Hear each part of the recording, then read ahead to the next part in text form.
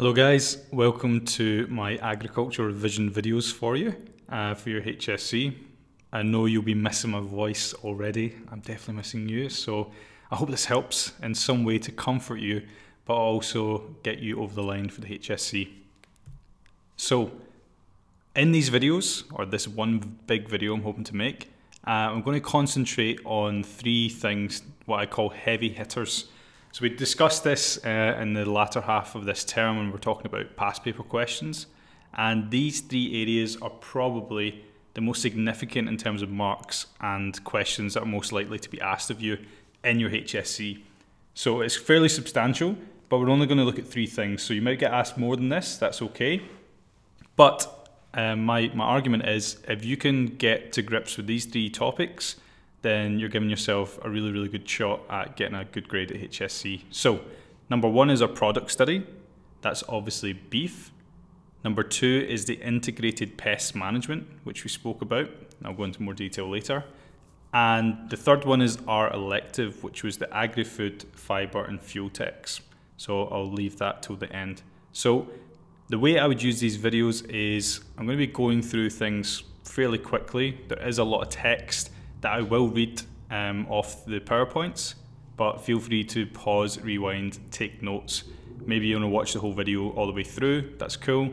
See where you're feeling, okay, I need to maybe study this a little bit more, or just pause it, take notes as if it's a normal lesson, but you can't shout out and give me abuse, which is, is nice for me.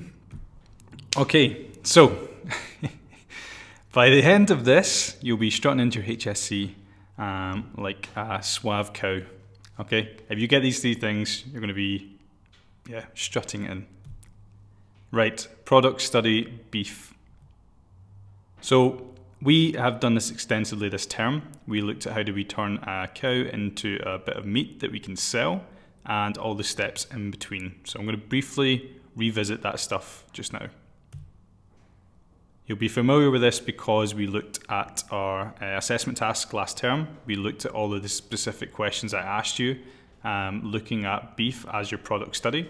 So I'm going to revisit some of these questions and maybe put them together, not quite in the order that we looked at in the, um, the assessment task, but it makes sense to me, hopefully, when I'm delivering it to you. Okay, so the first question I asked you was to describe in detail the market specifications for a named product. And something I asked you later on was give an explanation of two major problems that producers may face that affect specific quality and quantity associated with the end product, which is in our case beef. So let's deal with the first question market specs first. So, what are market specifications? Market specifications are the end users of stock, including feedlots and beef processors, which pay premiums for lines of cattle that fit these specifications while discounting those that do not. So, in other words, if you meet your specifications, you get the maximum price for your cow, uh, your beef. If you don't and you try and sell it to that market, they're going to ask you, or they're going to give you a discount on that. They're not going to pay you full price. So, what are the main things that markets are looking for? One of them, or the most important, is probably weight. So, the weight of your animal, live or carcass, and I'll explain those uh, definitions in a second as well. But that's probably the most important specification that most markets are looking for. It needs to be a, a specific weight. Then we have fat, which is usually in the P8 region of the cow, uh, or rib fat depth, if you're going that far as well. Uh, another major specification is sex, and another major specification is age. So these are the four main specifications that a market is going to be looking at your beef and saying, okay, does it meet this spec? They may also look at other minor traits as well, like breed, meat colour, fat colour, fat distribution, pH, muscle score, that sort of thing. And I'll talk about a couple of those in a second as well. So when we talk about markets, I'm not just talking about the supermarket, Woolies or Coles. We're talking about markets that are going to buy your beef. And that could be the local butcher. It could be a supermarket like Woolies or Coles. It could be the EU, like the European Union. So there's a whole bunch of different markets that exist that we've discussed, and each one of those markets requires a different market specification. So, for example, in this graph here, if I was selling my meat to the butcher, The butcher is looking for 200 kilograms. Okay, that's going to get me a good price, and they're looking for a fat score of about two, between two and three. So if my cattle fit in this little box and I'm selling it to the butcher, I'm going to get a good price. However, if my cattle are slightly heavier than this or slightly underweight, then the butcher is not going to buy it at that the full price. They're going to discount it on me because I'm not actually within the realms of the specification. Okay, I'm above and below it. Same with my fat content. Okay, if my fat score was lower or higher than it needed to be, then the butcher could discount me because I haven't met the market specification. So, if I was selling it to the EU, for example, again, the butcher is looking for less weight than the EU. The EU are up here. So if I was selling to the EU and I had severely underweight cattle, then they're going to discount me in that price. Okay. And we talked about issues with that and financial pressures, and we'll talk about it in a little second. But if you consider what's happening just now in the Central West with a drought, it makes it much more difficult if the natural conditions are highly variable, so they're not very predictable in producing animals that are going to meet that market specification. So we'll talk about that in a little bit as well. So when we're talking about um, ideal quality foods or ideal quality beef in our case, we can look at this grid system. Okay, so most of the beef um, is want you want to fall in these sort of Goldilocks conditions. I would say you don't want your beef to be completely lean, so fat free, but you don't want it to be just majority fat either. Okay, so that's in the red zone.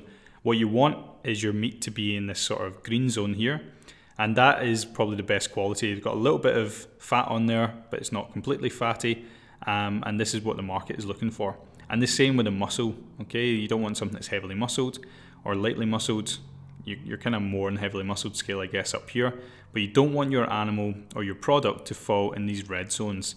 These red zones are where you're going to be heavily discounted by the market you're trying to sell it to, or they might reject it flat out if they can't sell it themselves. So you really want to be looking, paying attention to the sort of Goldilocks conditions here. What does your market want? And does your cattle meet the specific requirements? So you obviously need to look at your market way before um, you start raising your cattle to ensure that your beef can get to these, these areas here, which are going to make you the most money. Okay, market descriptions. So we've looked at a few um, in, in class. I'm not going to look at all of them again, but I'm going to look at some of the key ones that I think if you can commit these to memory, um, practice writing some of these out, then it's going to give you the best chance, I think, at HSC. So got some fancy demo animation. Woo. Okay, so we're going to look at weight, living and carcass, age slash dentition, sex, and pH. And feed type, sorry. Okay, weight. Beef cattle often need to be a certain weight for a specific market. And weight can be categorized two main ways. The live weight is the weight of the animal before slaughter, and the dressed weight. This is the weight of the carcass after removal of the head limbs, hide, and offal. Okay, so the dressed weight is pretty much the product that we can use. The live weight is important. It tells us how heavy that animal is, but the dressed weight is what um, is the total kind of weight in kilograms of beef that we can sell. Okay, so live weight, that's kind of self-explanatory. Dressed weight is when the meat has been dressed or prepared, I guess, um, for exporting the meat or moving the beef into the next part of the production. Dentition.